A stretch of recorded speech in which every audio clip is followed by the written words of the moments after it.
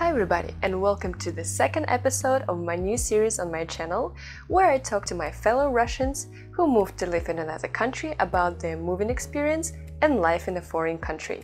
And in today's episode, we're going to talk about living in Colombia. Привет! Представься, Привет. а, как тебя зовут и откуда ты родом? А, Меня зовут Виктория. Я сама из маленькой деревни в Ординском районе. А, Я выросла там и затем обучалась на культуролога в Пермской академии искусства и культуры в Перми. Куда ты переехала, где ты сейчас живешь и как долго? Я живу сейчас в Колумбии, а, в маленькой деревне, называется деревня Табио, но она недалеко от города, то есть это час езды от Богаты. У нас здесь около 25 тысяч жителей, если не ошибаюсь. Приехала сюда, вот недавно посчитали, что в сентябре исполнится два года. То есть два года, как я э, в одной стране. Почему ты решила переехать именно туда? Как ты выбрала страну и почему именно в такую маленькую деревню? Я тоже думала над этим вопросом и поняла, что просто, знаешь, как цитируя Цоя, сердца требуют перемен. Я по натуре такой человек, что не могу сидеть на месте. Я очень много, на самом деле, до этого ездила, но я ездила в Европу. Я жила почти два Мгм. года в Европе. Потом я снова, я приезжала в Россию, жила в России, снова уезжала в Гермо- Германию, потому Мгм. что, ну, то есть с визы были вот такие сложности, нужно было там тратить время в России. Какой-то момент я приехала в Россию, устроилась на хорошую работу, и было все замечательно. Я поняла, что есть перспективы в этой компании, хорошая зарплата, но застревать я там не хочу, а были все условия на, то, на это. Я решила, что надо что-то менять, а, и э, менять нужно было быстро. И когда я выбирала страну, у меня на самом деле не было никаких предпочтений, а решающую роль играла, играл вопрос визы.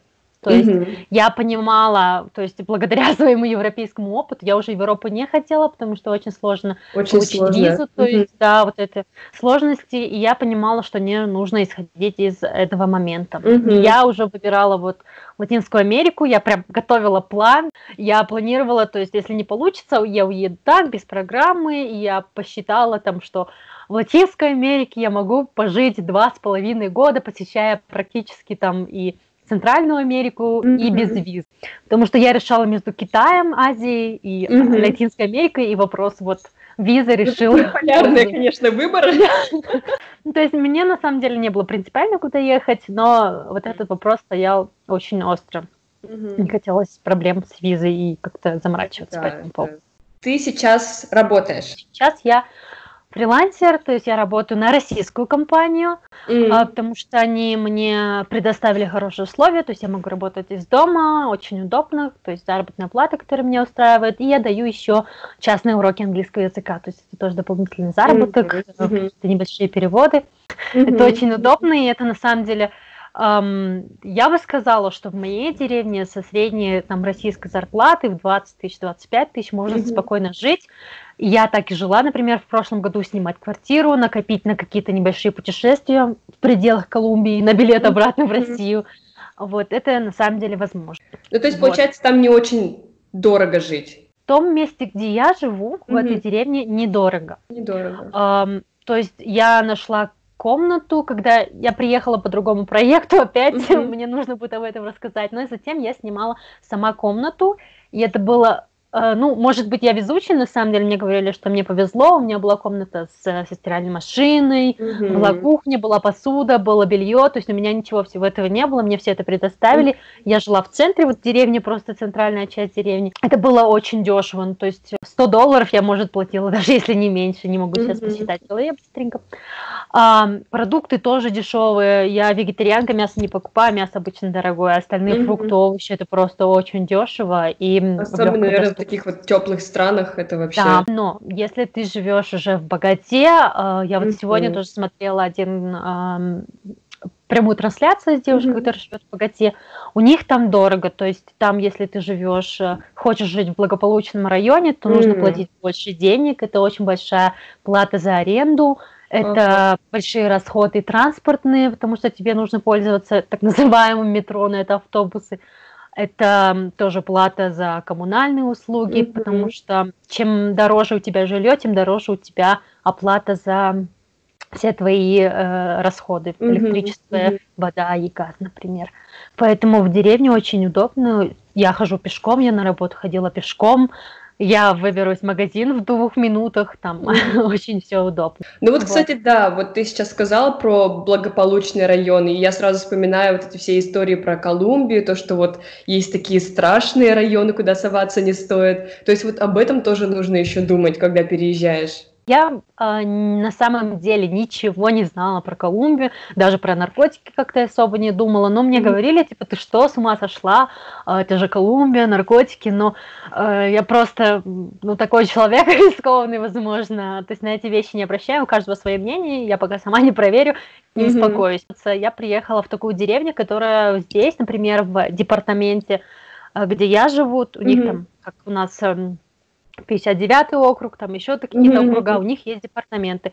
И в этом районе, так скажем, моя деревня самая безопасная. Ну, по крайней мере, они считаются самой mm-hmm. безопасной. У нас там год одна кража может произойти.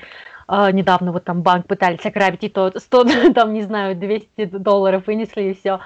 Uh, в этом плане было безопасно. Но опять-таки в Богату я бы, ну, я сама не рискую, и когда mm-hmm. я уже приехала, мне mm-hmm. начали рассказывать все эти истро- истории, я знакомилась с туристами, мне рассказывали про все махинации, как там людей грабят, там тебе, например, на улице могут опрокинуть что-нибудь, и, сказ... и второй человек подходит и говорит, ой, давайте я вам помогу, там тебя, значит, чистят, и заодно э, вот могут украсть что-нибудь. Но это везде, то есть есть всякие районы. Эм, нужно самому быть аккуратным, куда идешь, и по ночам особо не шляп. Давай поговорим тогда про работу поподробнее. Как ты нашла работу?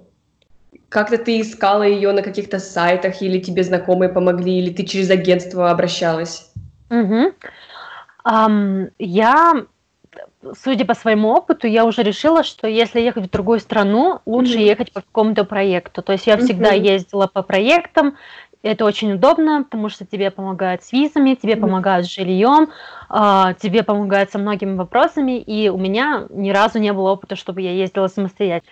Но я решила вот идти по знакомому мне пути, и я пошла искать всякие э, группы, и я нашла Good, Good Surfing, кажется, называется ВКонтакте.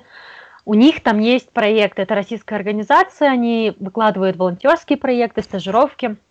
Я у них нашла проект мой, это языковая школа, которая находится в соседней деревне. У них были там социальные проекты в деревнях и еще преподаватели в языковых школах.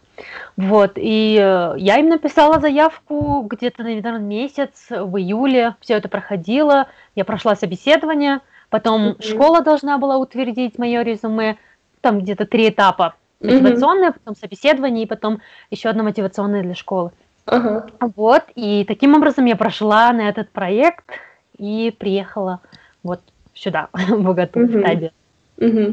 То есть, получается, особых проблем, а, например, с визой и документами не было? Тут нужно отметить некоторый момент.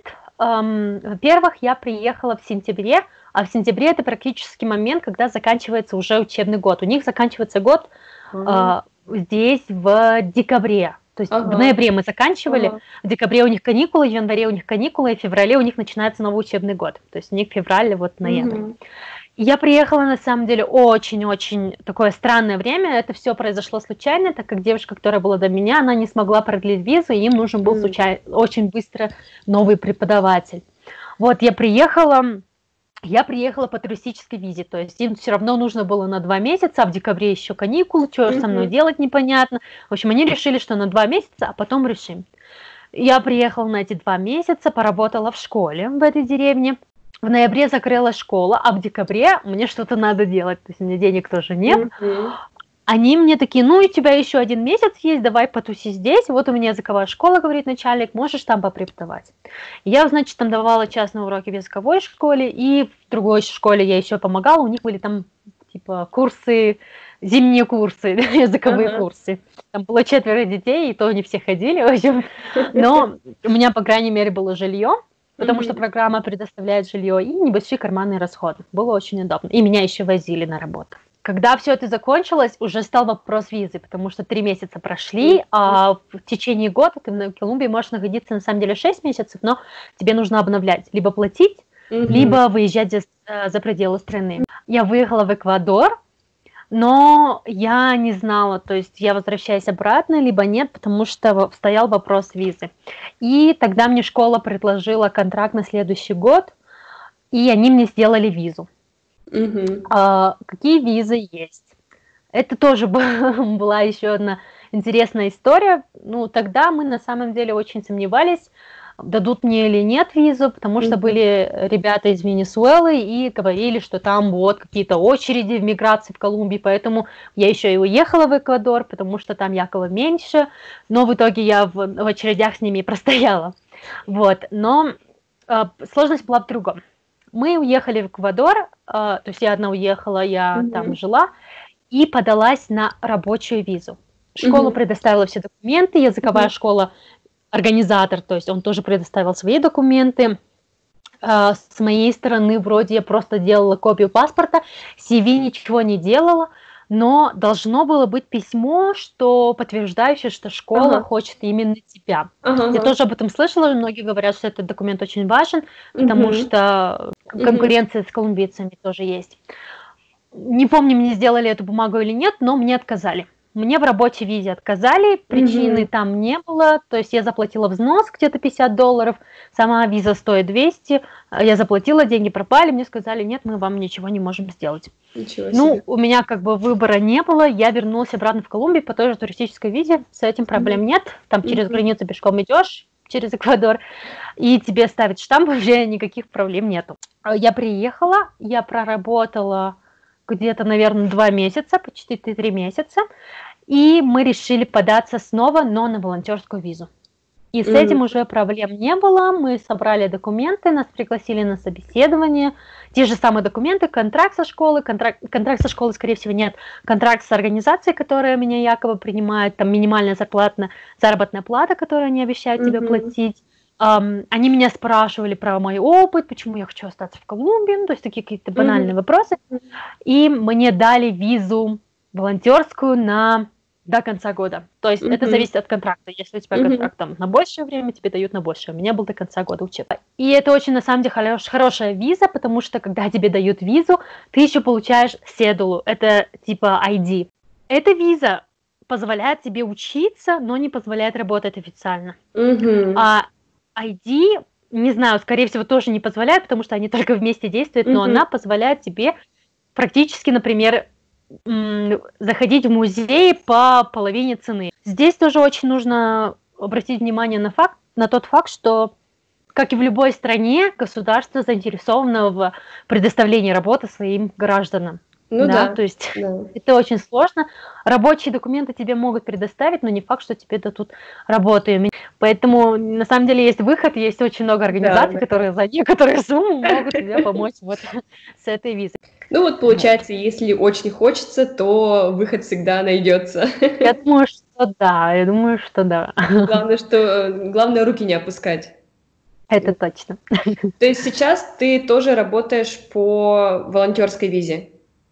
Это другой вопрос. Сейчас я через буквально там где-то, наверное, через 6 дней я буду иллегалом, нелегалом в Колумбии. Mm-hmm, mm-hmm. Я приехала по туристической визе, то есть у меня уже работы не было. Три месяца я здесь провела, и затем я пыталась ее обновить. Это как раз произошло в апреле, когда начался карантин, и О. все слетело. Миграционные службы не работали, дозвониться нельзя было.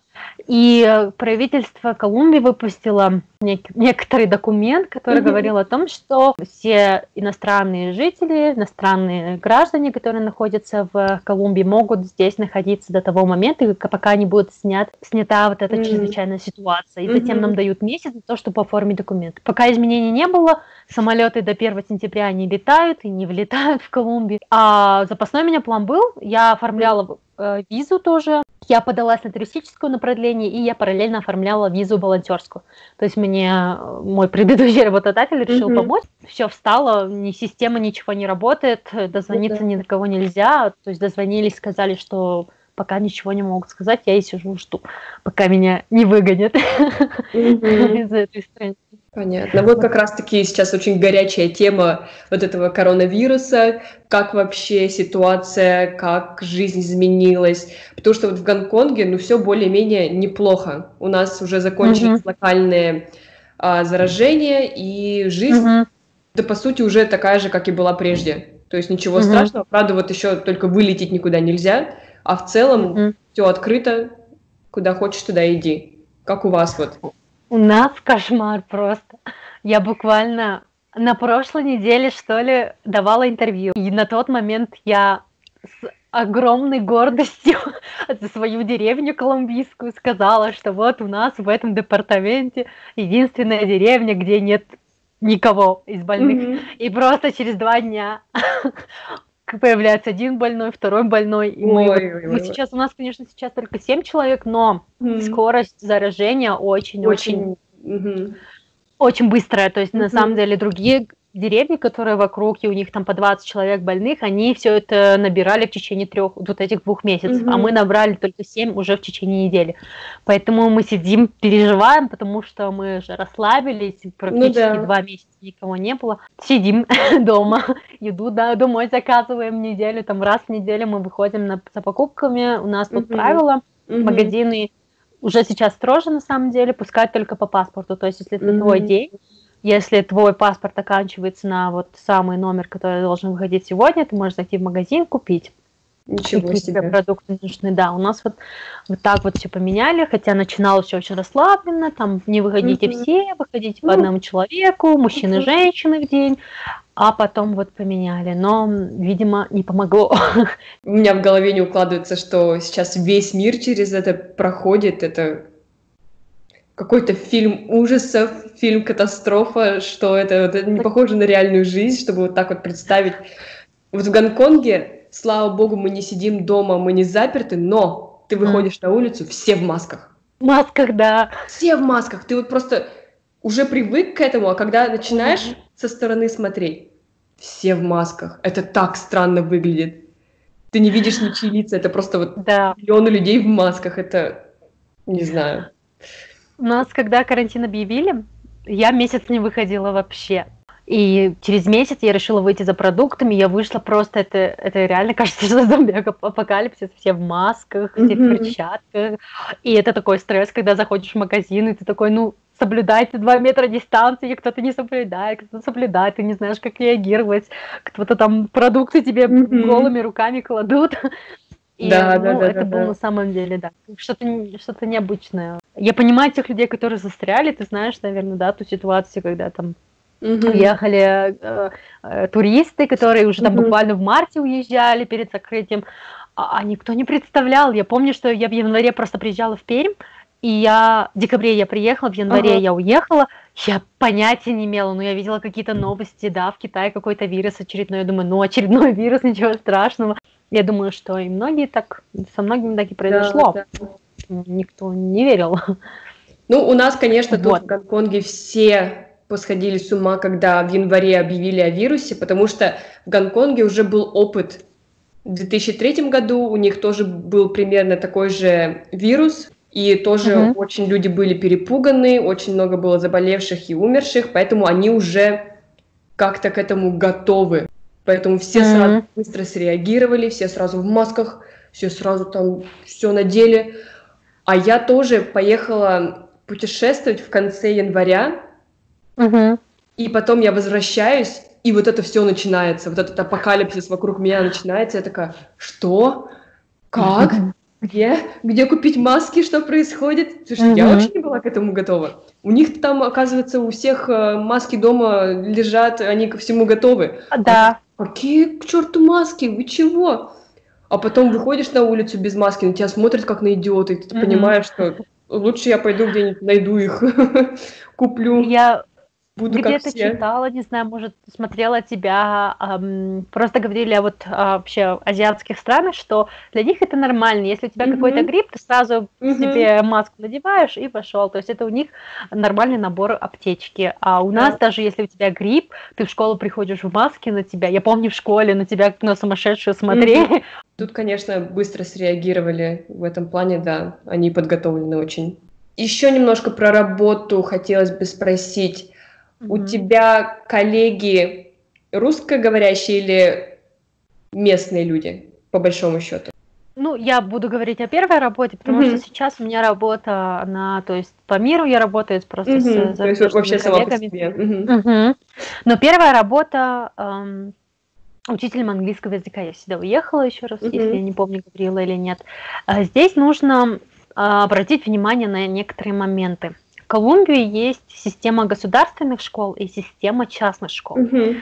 Государственные школы на самом деле это очень такие небезопасные места в целом, да, небезопасные районы, которые в небезопасных mm-hmm. районах или где mm-hmm. учатся дети эм, с небольшим заработком mm-hmm. или из бедных семей. Да. А есть сектор частных школ, за которые ты платишь и платишь на самом деле очень большие деньги. В среде вот этих частных школ есть тоже своя такая стратификация, то есть mm-hmm. есть частные школы для более бедных, есть для более богатых, есть какие-то там очень fancy школы, а, и здесь будет варьироваться, во-первых, условия, заработ... условия работы, mm-hmm. будет варьироваться заработная плата, будет варьироваться месторасположение и будут варьироваться твои коллеги. В школе, в которой я работала, это такая, наверное, не очень богатая школа, и у меня были преподаватели все колумбийцы. Школа, она хотела сделать программу билингвал, но они только вот на этом пути. То есть они вот, например, mm. сейчас привлекают иностранных учителей. У меня uh-huh. были все занятия на английском.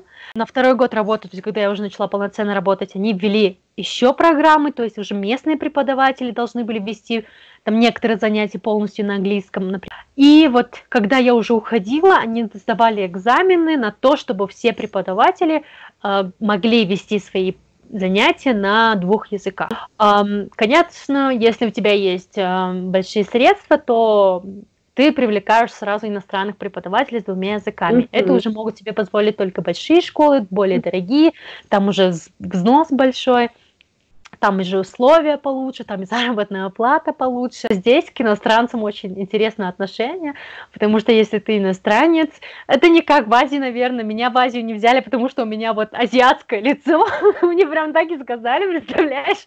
Ничего себе! Вот, а здесь такого не будет, э, то есть эм, тебя возьмут только потому, что ты иностранец, и они все считают, ну, многие считают, что ты, если иностранец, то априори у тебя хорошее знание. И, по крайней мере, в моей школе, было так, на самом деле так. Преподаватели английского знали очень так себе английский, хотя и преподавали до этого.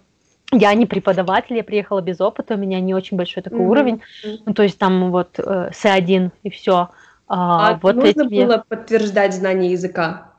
В моей школе ничего. Просто я написала мотивационное на английском, у меня прошло интервью на английском, и ничего.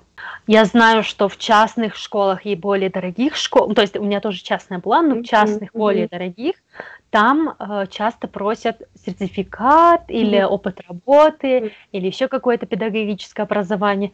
Раз на раз не приходится, но нужно mm-hmm. проверять. Но mm-hmm. в целом бывает такое. И еще есть третий вариант работы, то есть ты можешь устроиться вот государственную школу, если хочешь рискнуть. Но есть нормальный опыт. У меня девочка работала нормально, то есть э, ничего такого не случилось, хотя есть разные байки. Можно устроиться в частную школу, можно устроиться в языковые школы. Их здесь просто огромное количество. Mm-hmm. Тоже очень просто устроиться. Тебя собеседуют, документы не просят, эм, потому что здесь в основном конкуренция большая на языковые mm-hmm. школы, поэтому берут вот этим то, что у тебя иностранный учитель. Вот, если у тебя хорошие навыки, если ты mm-hmm. умеешь держать класс, хорошо ведешь занятия, то на сертификат не обращают внимания, просто mm-hmm. берут на работу. Так, вот. и сейчас таким более жизненным вопросом, а, например, про жилье. Угу. Вот ты уже говорила, у тебя комната вполне хорошая, у тебя все есть. Сложно ли было найти жилье? И вообще, как оно э, отличается от России, насколько это отличается от России, как ты его нашла? Um, в деревне, я буду говорить про uh-huh, эту деревню, uh-huh, то есть да, поселок небольшого городского типа. Здесь э, было очень легко найти, потому что все друг друга знают, и я очень коммуникативная, поэтому у меня было много знакомых, э, и я просто пустила вот э, сарафанное радио, и э, мне сразу написали там несколько mm-hmm. человек. Я также еще эм, смотрела в группах, то есть есть местные группы, где там что-то продают, предоставляют какие-то услуги. Там я просто смотрела объявления и прошлась по ним. Поэтому на момент, когда я уже долж... еще была в другом городе, но хотела сюда вернуться, mm-hmm. я нашла себе комнату, но я в тот момент, когда была в Эквадоре, все сорвалось, я приехала, я пожила с семьей, проект мне предоставил жилье с семьей, mm-hmm. тоже это mm-hmm. нужно отметить, это было очень клево, мне предоставляли питание, они мне готовили завтрак и обед, вот, я просто приехала, и я у них пожила там несколько дней, и буквально за три дня я нашла себе жилье, вот, поэтому я бы сказала, что на самом деле не, не трудно можно найти, mm-hmm. да. Есть, понятно, разные ценовые категории, но если поискать, можно найти, может быть, не в центре, подальше будет подешевле. Mm-hmm. Иногда не бывает кровати, но здесь это все стоит не очень дорого, поэтому можно, можно найти. сразу купить. Mm-hmm. И на велосипеде очень все доступно, можно быстренько приехать, уехать и пешком даже недалеко. Вот, а поэтому... вот а, в целом само жилье, если сравнить с Россией, какие-то вот плюсы и минусы, потому что вот в Гонконге Квартиры очень маленькие. А, во-первых, здесь живут в основном в домах. То есть mm-hmm. очень мало э, квартир, квартир. люди mm-hmm. живут в домах. То есть это такие двухэтажные дома. И во всех практически домах в Колумбии, если это особенно двухэтажный дом, у них будет как минимум три ванны или четыре ванны, практически на каждую комнату. А это не, ну есть понятно маленькие дома, да, какие-то, но в целом все дома выглядят прилично.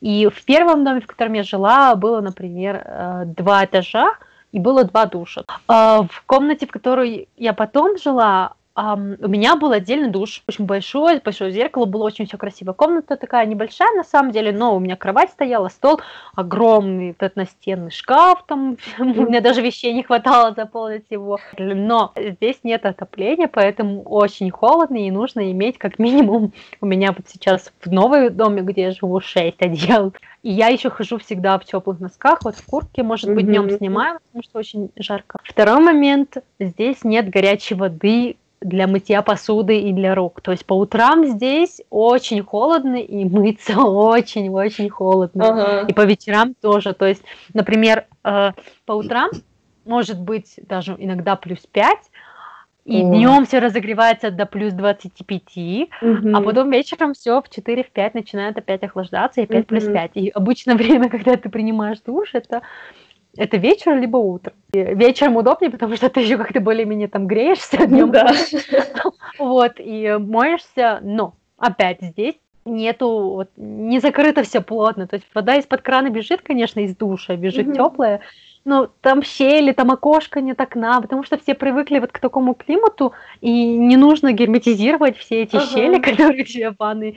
Поэтому очень холодно. Я до сих пор не могу привыкнуть. Я сейчас вечерами моюсь и сразу под одеяло, потому что для меня это очень холодно. Mm. А для местных это нормально. Детей отправляют в душ утром, там маленьких детей, да, четырех лет. Утром они идут с сырыми волосами в школу. Значит, я иду в, паль... в кофте, в пальто, в штанах в шапке, в перчатках, и дети вот в таких коротких униформе, у них короткая юбочка, там носочки, mm-hmm. и очень холодный климат, потому что мы в горах, эм, здесь очень холодно. Mm-hmm. Тоже нужно учитывать, что mm-hmm. в Колумбии очень разные зоны, и климатические, вы можете поехать на побережье, там будет жара, и там вообще не течет mm-hmm. горячая вода из-под крана, потому что нет нужды.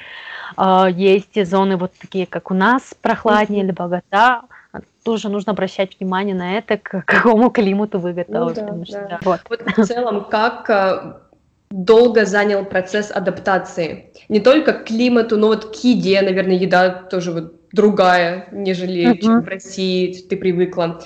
Ну и в целом, как вот инфраструктура, вот этот uh-huh. магазины, куда пойти, что купить. Как долго занял этот процесс? Было ли сложно? Ну, у меня есть вот этот опыт адаптации к разным культурам, поэтому мне все это э, не показалось тяжелым. Я просто могу рассказать смешной случай. Я приехала просто с нулевым испанским. Я просто успела взять два класса. Меня просто научили алфавиту, сказать «Здравствуйте, меня зовут». И это был весь мой испанский. Я приехала в школе, конечно, некоторые говорили со мной по-английски, это было клево. У меня были группы advanced, поэтому ребята, школьники очень хорошо со мной говорили. В семье не говорили у меня по-английски, мне приходилось что-то там объяснять по-испански, я помню, со словарем что-то.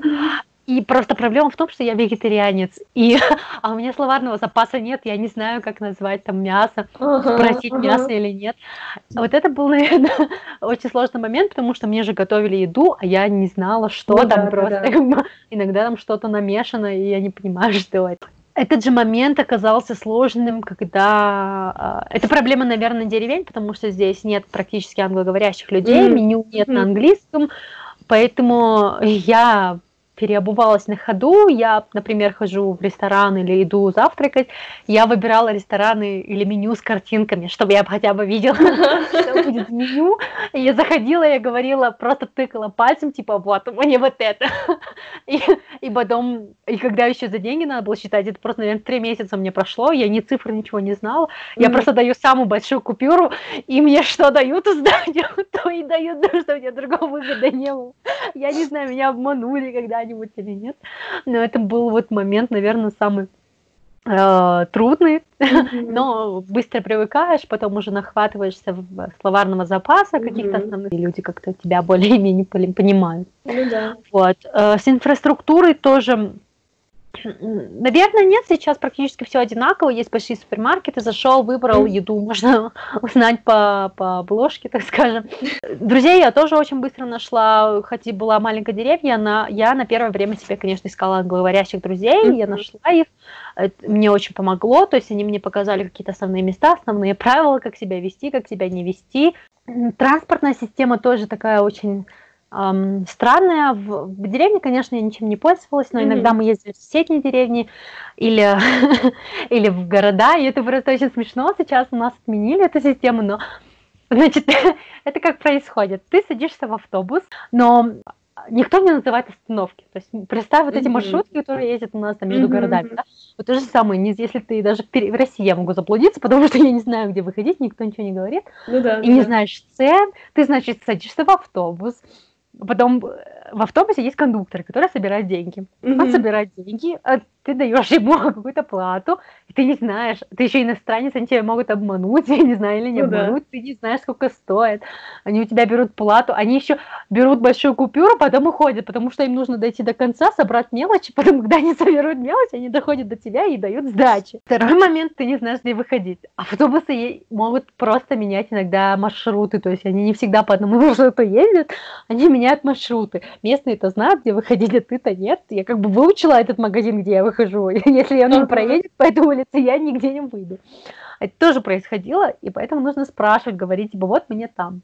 А еще у них есть вот этот кондуктор, который собирает деньги, он еще знаешь, так подвисает на дверной ручке и снаружи едет и кричит типа «Автобус там до Тави, автобус до Тави, садитесь!» И ты, если стоишь на остановке, он может выйти типа «Поехали, поехали!» И ты такой «Нет, мне не надо!» Он говорит «Поехали, поехали!» И ты знаешь, на рынке пытаются что-то продать. Сейчас отменили, ввели карточки, ты же заходишь, ты просто вставляешь карточку, у тебя там отсчитывает некоторую сумму, когда выходишь. Э, ну, это с кем... вкусно. Ну, есть разные направления. Еще один момент, который, наверное, для русских, для россиян не знаком, это страховка и пенсионные. Здесь за страховку и за пенсионные ты платишь. Поэтому, если будете устраиваться куда-то на работу, пожалуйста, обратите внимание на заработную плату, потому что вам чаще всего из своей заработной платы нужно будет платить за страховку и за пенсионные. Mm-hmm. И это не очень маленькая сумма, это большая сумма. Я вот была волонтером я платила, не знаю, где-то, наверное, около 5 тысяч в месяц. Это очень ну, значимая сумма. Что еще? Система медицинская тоже нужно обратить внимание. Это как частные поликлиники, представь, вот эти, у них нет бесплатной вот этой системы. Если mm-hmm. у тебя что-то случилось, может приехать mm-hmm. э, эмергенция и вот она тебя увезет, что-нибудь тебе сделать. Но в целом, если у тебя что-то болит, тебе нужно записаться, к терапевту, потом получить направление, потом mm-hmm. ты идешь к терапевту, платишь у него там небольшую сумму за этот прием, у тебя еще от страховки все это снимается, вот, ты еще там иногда за лекарства платишь. Эм, правила ты уже говорила, то есть все-таки Колумбия, да, конечно, очень много разных моментов, но все равно есть правила и рекомендуют по ночам нигде не шляться. Хотя в Богате, наверное, все это по-другому, но у нас в деревне в 9 часов все закрывается. Ну, кто-то оставляет там за закрытыми дверями, вечеринки продолжаются, но это очень редко. Полиция, если тебя застает, сейчас закрывают, могут даже там местечко закрыть. Путешествовать не очень тяжело, особенно, э, как бы я говорила, что прелесть Колумбии в том, что у тебя в часе езды может быть и другое, может быть другая климатическая зона. Поехала, у тебя там уже речка, можно искупаться, mm-hmm. жара. Mm-hmm. Два часа приехал, у тебя уже прохладно. Вот, на самолете час поехал, полетел на пляж, два часа до джунглей. То есть это очень удобно, и это не очень дорого, особенно если ты ездишь на автобусе. Это безопасно, мне кажется, хотя есть дороги опасные, но эм, я ездила, было очень удобно, хорошие автобусы с, там, со всеми удобствами, с остановками. Эм, мне в этом плане очень понравилась Колумбия, потому что, мне кажется, есть инфраструктура, в отличие от угу. вот в России, например, очень сложно доехать в какие-то маленькие деревни, хотя здесь ну, да. очень развит Угу. Не знаю, как, кстати, в Гонконге или там вообще в Китае, здесь очень развит местный туризм, местные mm. ездят по выходным, особенно в час там в небольшие свои дачи, либо соседние mm-hmm. деревни, отдыхают два дня, там, отдохнули и приехали. Поэтому инфраструктура очень хорошо развита, много там турист-сервисов, много mm-hmm. хостелов, много туристических маршрутов и автобусов. В этом плане очень, очень хорошо для вот, хорошо. туристов. Mm-hmm. Mm-hmm. Так, ну и может быть а, напоследок какое-нибудь напутствие для людей, которые тоже вот сидят дома и думают, переехать бы куда-нибудь, решиться ли на этот поступок, стоит ли оно того? Конечно, стоит. Я вообще, у меня даже вопроса не стоит. Я всегда считаю, что стоит попробовать, потому что домой всегда вернуться можно. И ничего не терять. Я думаю, что опыт, который вы приобретаете в пределах своей страны, он намного важнее. Неважно, где вы работаете, но он ценнее. Это вот ваш опыт. Вы вышли за пределы своего комфорта. Поэтому я вот всегда рекомендую что-то делать. И для этого есть все возможности. Если вы боитесь, как э, я говорила, есть проекты, есть uh-huh. разные организации, которые могут помочь. Айзек, если не ошибаюсь, uh-huh. тоже очень хороший у них да, проект. Да. да, вы заплатите небольшую сумму, но у вас будет и страховка, и жилье, и на первое время вы получите огромный овервью ситуации, в которой вы uh-huh. находитесь, и вообще никаких дополнительных затрат у вас не будет. Самостоятельно поехали, тоже замечательно, то есть и рискованно, но мне кажется, очень замечательный опыт, и если кто-то хочет чего-то добиться, всегда можно это сделать, особенно вот в странах Латинской Америки это намного легче, чем в той же самой Европе, мне кажется, mm-hmm. и в Азии не знаю, но вот опираясь на свой опыт европейский, поэтому всегда пробовать вообще, без сомнения.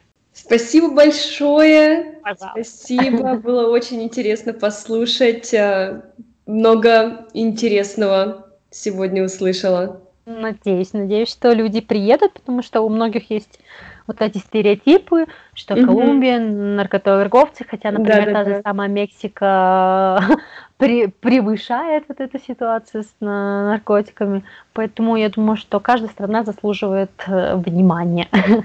Ну, Можно всегда, начать. всегда есть плюсы и минусы в любой mm-hmm. стране, также и в России. Конечно. Поэтому фокусироваться да. только на негативном не стоит. Не стоит. I hope you enjoyed this episode. If you have any questions, write them down below. The next episode from Chile is coming very soon, so stay tuned. Bye!